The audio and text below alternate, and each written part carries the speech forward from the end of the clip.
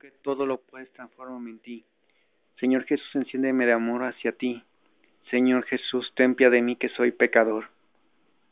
Jesús, es por tu amor, porque yo te amo. Enséñame a hacer tu voluntad y la del Padre Celestial. Amén.